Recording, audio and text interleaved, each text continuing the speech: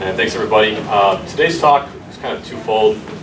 Uh, the main goals are going to be to hopefully have you all walk away and understand a little bit more about mechanisms of injury in a pitcher, but then also to, I want to spend some time touching on deriving some machine learning models because I think in this day and age, uh, that term is tossed around so much, and I struggled with this for a long time, understanding what the heck is machine learning. Um, so I think it's important to try to go through some of the derivations on it and then just for our future sake, I think it really is real and impactful. And um, I reflect on this a lot. What is what's my future going to be like in a career or even in sports in general with machine learning here? And so we'll give you some examples on how powerful it can be. And uh, yeah, that's kind of the, the scope for today. As, uh, as you mentioned, I'm from Wisconsin, so it's a really big treat to come back and present. I grew up in Beloit and did my undergrad at MSOE and got to play some baseball. So that's where a lot of this exposure to biomechanics and well, my own injuries came to first fruition. Um, and then yeah, 2012 we started Motus Global, and our goal at the beginning was to take what we do in a clinical lab, which is motion capture, um, and eventually bring it to the mass market. So at the time we operated a 3D lab where we would test athletes, a variety of athletes in all kinds of sports. Pitchers were the primary uh, population. And then we'd work with strength conditioning, physical therapists, um, performance staff members to individualize training plans. So that was like our first step into the into the space. But then, in, uh, as wearables began to reach a height in like 2013, we started developing wearable technologies that allow us to do some of what we do in our lab, but now out in the field. So in 2014, we made our first launch. It was a smart compression sleeve with a sensor embedded right below the UCL and the elbow. And it was fortunately approved by MLB. It was the first wearable allowed uh, for in-game use, and that was in the 2015 championship season. And since then, we've aggregated millions of throws, and uh, that not just at the MLB level, but at the college, high school, and youth level, and are starting to get some good insights into what predicts injury and uh, have some tools to help prevent it. So the sensor itself, it's a six-axis inertial sensor. Uh, it's got a really high-end gyroscope and accelerometer to tolerate the forces of a pitch. We sample at 1,000 hertz, and essentially it works like a Fitbit, but on your elbow. So you go out, you throw all day, it stores all of the throws, and then we download at the end of the day and uh, calculate all the physics on each, each throw you make. The app itself, on the advanced side, we can give some raw metrics with every pitch. There is something called max shoulder rotation, so during the pitch we can measure how far back you rotate. We can pick out the arm slot at ball release, so at zero, 45, 90 degree arm slot. We can get rotational velocities, but most meaningful is the peak stress on the elbow. So we can do some inverse dynamics to calculate valgus torque. And that's what feeds into all of our workload algorithms, I show Motus Cricket. So we actually use this for um, a variety of overhand sports too. We do quarterback passing, we do cricket analysis, we do volleyball analysis as well. Um, but yeah, so before we get into some data examples, I have to make some definitions. So I, we did pioneer these, these concepts of acute and chronic workloads. Uh, Dr. Tim Gabbett did with GPS data. What we have found is when we apply it to the joint, it's much more powerful um, and it tells a good story conventionally. But so first off, we'll take daily workload. We calculate that by adding up all of those stress levels for every pitch you make in a day. So there's different effort levels. Not every pitch is created equal. So we add that up, and that's daily load. And then we can measure a, a rolling seven-day average, and then we call that acute workload such as short-term fatigue. And then uh, we also measure a rolling 28-day average, and that's called your chronic load, a longer-term average.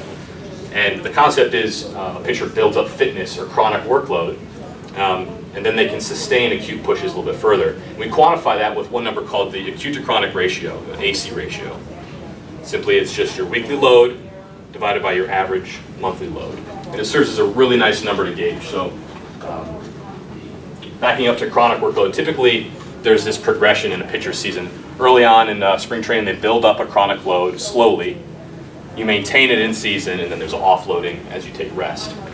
If you look at a lot of the injury reports, uh, you'll see a lot of the injuries occur pre-season when you're building up workload, and it makes sense. We have a throwing program for a reason. We slowly introduce workload because we know our arms need to build up fitness. Uh, the problem we run into is not everyone is doing the same effort with every pitch, so oftentimes we see a really big acute spikes.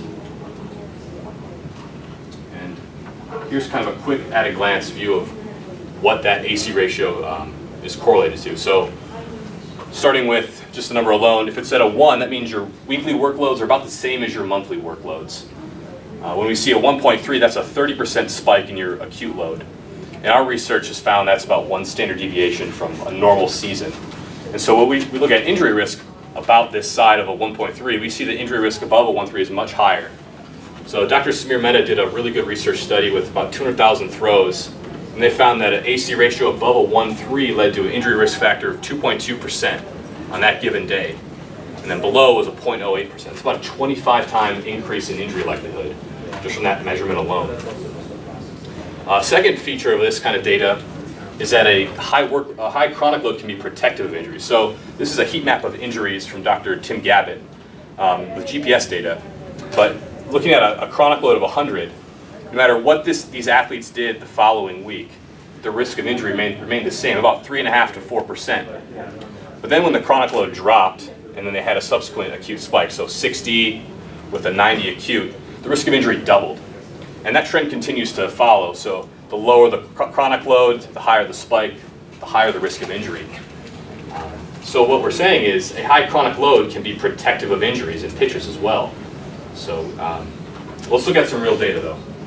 So this was uh, grade 2 US, UCL sprain from MLB pitcher.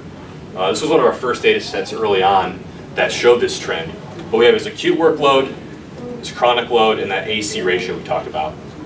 So if you look at these acute spikes, I mean, they're, they're natural, nothing too high, but there's cyclical patterns in a pitcher's regimen. They sometimes pitch deep into games, or if they're relievers, they pitch back-to-back -back days. Maybe they have too much of a bullpen one day. Uh, but coupled with a high chronic load, we had no problems. It was about a 1-2, a 1-3 ratio. Around the All-Star break, the pitcher took some time off, and we saw a really big dip in that chronic workload. And unwittingly, he came back with the same effort. He had a, an acute workload that day, uh, after the All-Star break. And because he had such a low chronic load, the AC ratio was at 2.1 on the day of the injury. Um, so again, time and time again, not, not only just internally in our own data sets, but from third-party researchers, we have people seeing that this AC ratio, when it spikes, is a major risk factor for injury. This was some fun stuff we just pulled out. So we wanted to look at uh, Nolan Ryan. Now we don't have Motus throws on him, but uh, if we look at just his pitch counts, you can calculate a chronic load, and uh, an AC ratio. So 1974, um, picked this year for a reason, because one of his games, he threw 235 pitches in one of the games, but this is his chronic workload. You can see early on there's a, a, an increase, there's a maintenance period, and then he had this period where he kind of fell off a little bit because of the All-Star game, and that was on July 23rd, a little later back then. And then he came back right up. But if you look at the AC ratios on this, you know, they're, they're not too crazy. Uh, he's flirting the line of a high risk. You know, he's going up to a 1-5 with just pitch counts. Uh, you see a really big spike here after the All-Star break because his chronic load dipped. But this is funny. So uh, June 14th, 1974, he threw 235 pitches, 13 innings. He had 10 walks, 10 strikeouts, or something like that. And his AC ratio was a, like a 1-3. Just ridiculous. Um, so again, that kind of plays in that concept of a high chronic load being protective of injuries. And I think that we baby a lot of pitchers today, or at least we, we have them spread out so intermittently that they can't build up enough chronic workload. But I digress a bit there. All right, back to this pitcher who got hurt. We actually uh, we helped him rehab, and this was a really fun experience that led to a product of ours, uh, one of our dashboard products. But we did this by just with some MATLAB plots to begin with. So this is his chronic workload starting December 6th. Remember, he got hurt, uh, took October, November off, started throwing again, and this is opening day April 6th. Uh, we did a simulation in early January. He'd already built up a chronic load to about four and a half. Uh, so what we wanted to do is let's linearly ramp him up. We don't need him to be game ready here. We need him game ready opening day when he's going to be making real pitches. So uh, we can take his torque levels per pitch and we can program out throw counts every day. So he wanted to go five days on, bullpen on Wednesday, two days off. So we use that pattern with that, that linearly increasing chronic workload and we just solve for the pitch counts every day that he could do, or the throw counts, not pitch counts. The secondary factor of this was making sure that the AC ratio doesn't spike, because we know about 1.3, well, he got hurt at a 2-1, so we definitely don't want to go there. But we, we, um, we kind of stick to that 1.3 limit, because a lot of research has shown being above that is uh, putting you at risk. And if you kind of integrate this with your mind, you can see it's slowly ramping up chronic load. And on uh, a few days before opening day, he could do 160 throws and AC ratio was, again, like a 1-2. So that's about a three inning start if you include the between inning pitches, the long toss, the bullpen before the game. Um, pretty good spot for him.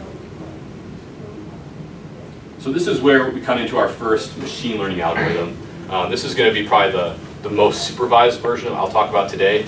And we're not going to get into the, the back end stuff. That'll be for the next one. But essentially we have a, a control theory version where it's like a thermostat. If the chronic load is low, we're always adding workload each day. Uh, but the, the real driving force where we put some negative feedback in the loop is with the AC ratio. So if even if we're trying to ramp someone up, if the AC ratio spikes, we take load away. Uh, we also only program based on their schedules. If they do any wellness surveys, we can incorporate that. So in our app, they actually rate their arm health every day. So it gives us something to scale things back. And um, yeah, we have plans to kind of add on to this, which I will talk about. So now users can subscribe to something called Motus Dash, where they uh, track their AC ratio to begin with. So every throw they make gets uploaded for team dashboards. We give them their acute and chronic status. And then if you click on a player, you actually get a 30-day projection of recommended throw counts. You can scroll and get their chronic projections too, but uh, that's the way we communicate to coaches. We give them a daily throw limit, and we show them what their AC ratio will be when they make that throw limit.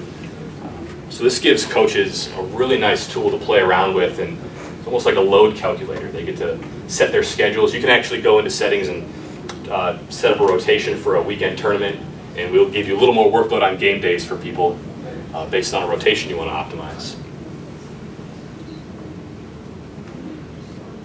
And here's our, our, last ad about the app, but we also give all this information in a mobile app. So we give you AC ratios, your chronic workload level, we talk about that arm health score where you can rate it here.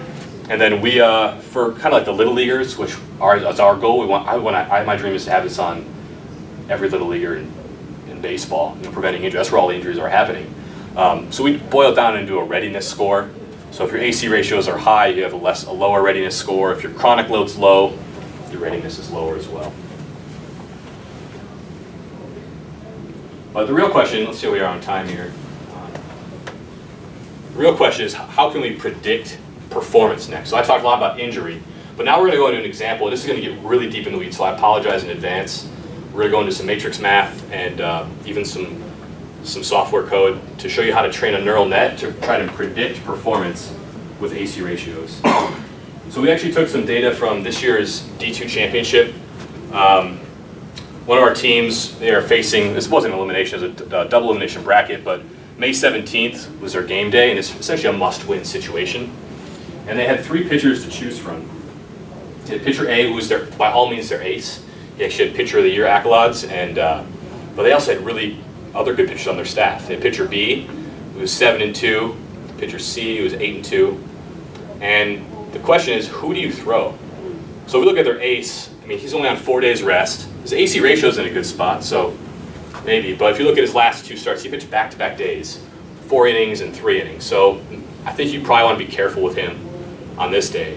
We got two other guys. You have pitcher B, who recently had a really good performance. If you look back at his guy, he actually had um, had a, a, lot of good traction late in the season. Um, but then here, pitcher C kind of shit the bed a couple weeks earlier. Uh, only had four days rest. So I don't know what goes into the decision process here with the coach. Um, I should ask him. But he threw pitcher B, and pitcher B lost. So that sucks, right? So the goal of this is, can we do any better? Can I give you guys another piece of information to try to throw the right guy at the right time? And we're going to do that by uh, trying to predict something called game score from Bill James. Now there's some variety of ways to do this, but the concept is like a quarterback rating for baseball pitchers. So you start with a score of 50, and you get three points for every inning you throw, two for every inning after four, point for every strikeout, and then you start subtracting things like two points for every hit, four for every earned run, two for every unearned run, and one for every walk. Um, and if you look at the highest game score in MLB history, it was Kerry Wood in 1998, the score of 105, and he threw a filthy 20 strikeout shutout. It's unbelievable. But anyway, so that's the number we're going to try to predict and create models for for each pitcher and see if we can have some tool to better uh, pick who should play. We're going to do it with a neural net. So again, we're going to. My goal here is to show you how this works. So I think it's important for the layperson, the coach, uh, myself, and other engineers to try to understand what's going on in the back end. So what we're going to do is give, um, so this is one, for instance, one, one game we're going to predict game score for. We're going to take the last 15 AC ratios of the last two weeks, and with a five neuron model, we're going to end up predicting game score. So that's like the end result of how we're going to do this. What we have to do is train uh, the weights, so the output and the hidden weights. Before we go into that, again, I'm going to show you the calculation first. So after you've solved this neural net, you have these, these two matrices, and the calculation is multiplying your input by the matrix of hidden weights, and also multiplying it by this output weights. There's also this thing called the sigmoid function, uh, which just makes this even more confusing, right? But all it really is is a switch. So for every value in your matrix, if it's a high number, it gets multiplied by one. If it's a lower number, it gets multiplied by a half. So we're giving preference to numbers that are high. Okay, level further, let's look at the matrix uh, setup of this. So your input for the final calculation is a 1 by 15 vector multiplied by a 15 by 5 set of weights. So if you, um, linear algebra, 1 by 5, if you have these two terms are the same size, your resulting matrix is a 1 by 5. And these are our, our A, or our hidden neurons. So that's these A, 1, 2, 3, 4, 5. The next step is multiplying what we just solved for by the 5 by 1 weights.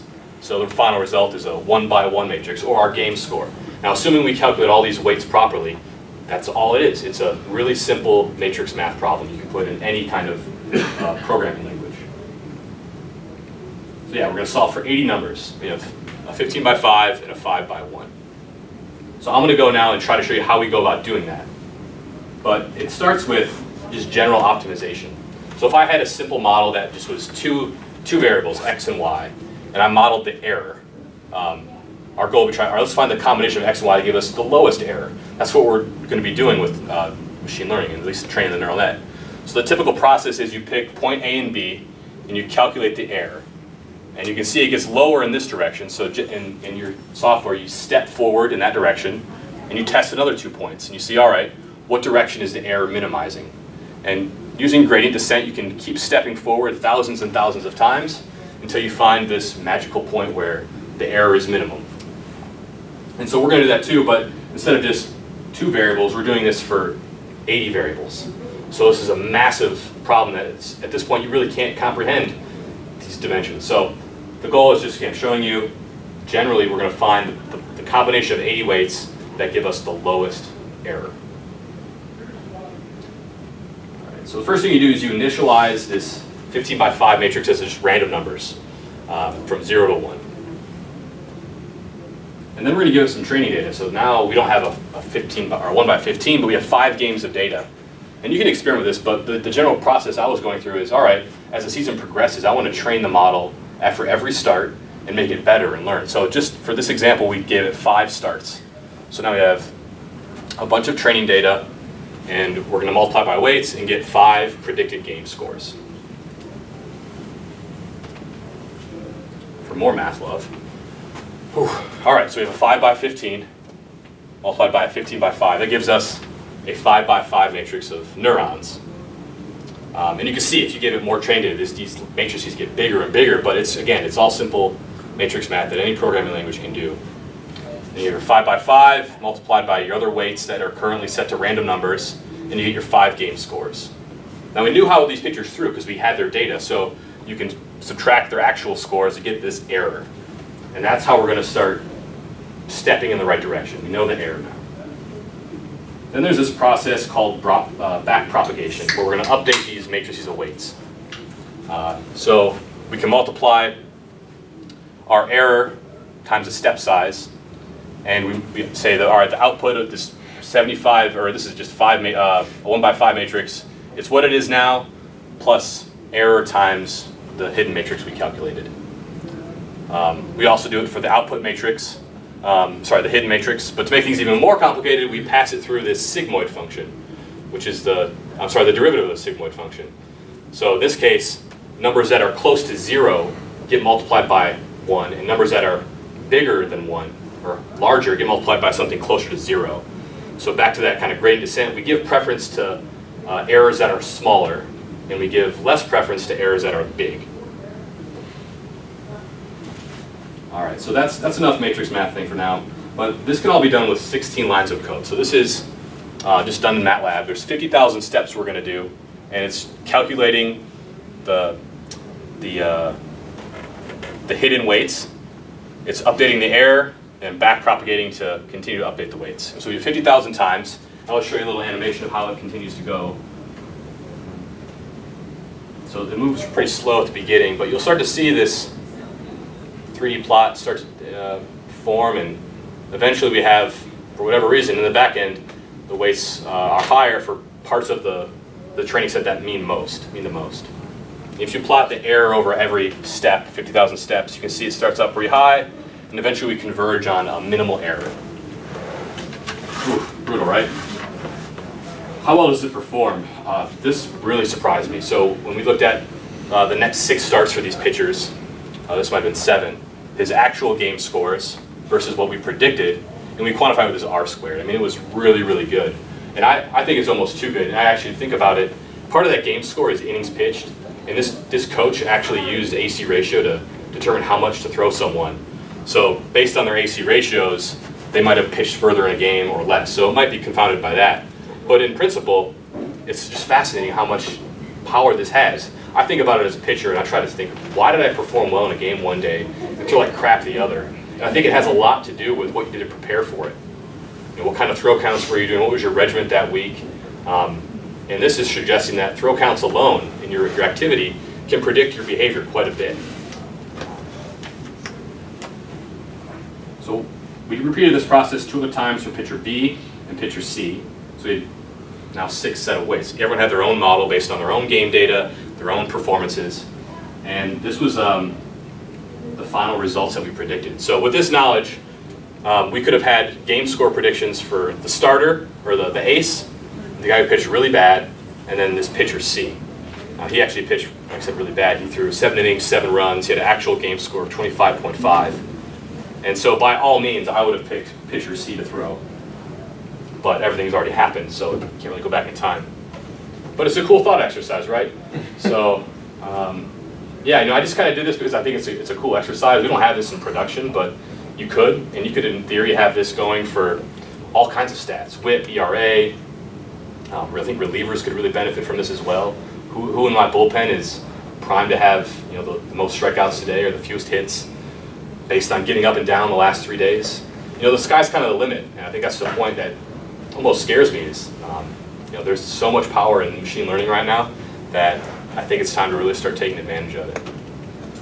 And that's my goal, you know, so I think the future of sports performance is not just biomechanics based or workload based. It's going to take into account all kinds of variables. So we have some studies going on now with trying to combine sleep and workload data, and that's a lot. But this is going to get bigger and bigger. I mean, we have a lot of technology come out for hydration tracking. Um, I think it'd be great to track nutrition in your macros, um, even recovery that you do, or you know, mindfulness techniques that you have that help with recovery. I think all these features are going to feed into machine learning models and predict performance and help help us decide what to do with our athletes. So that's kind of where I want to end it. Uh, I think again, there's a lot of power here, and yeah. So thanks.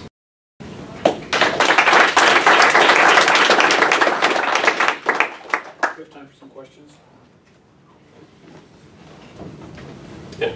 Does, do you guys take into effect weather data when you're calculating, getting pictures up and down? Like you're from here, you know, it gets, it's pretty cold in March and April, but now it gets hot. Does that weigh into it at all? I mean, it certainly could. I mean, there's no reason you couldn't have, yeah, weather, opponents. Um, uh, this again, this was just really more for an exercise to show this, but that'd be a brilliant addition. So, yes. Was the wearable tech producing any data for that score that you were predicting, or just when they were pitching and how much? So yeah, we, they wore it for every practice and game. So we had time set every throw they made, every stress they made on those throws, and then they have their statistic, uh, statistics are reported on a website. So we just mine that. Yes.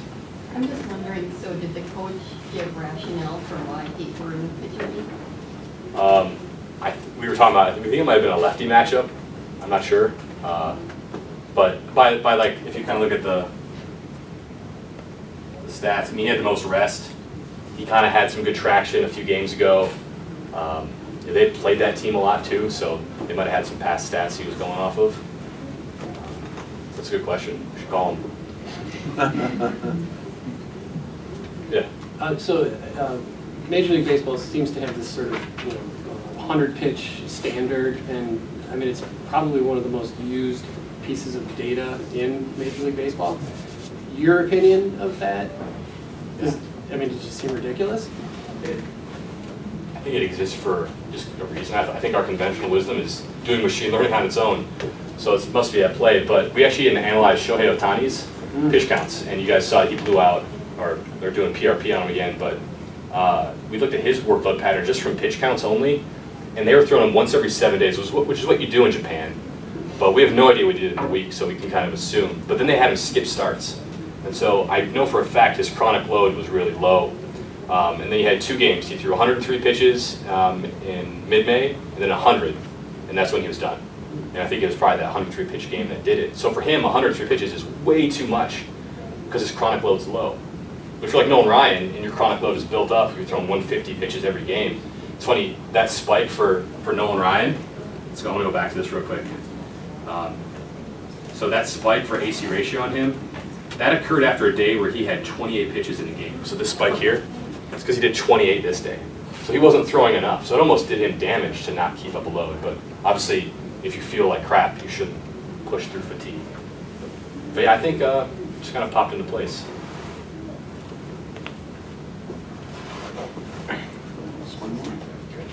Thank you guys.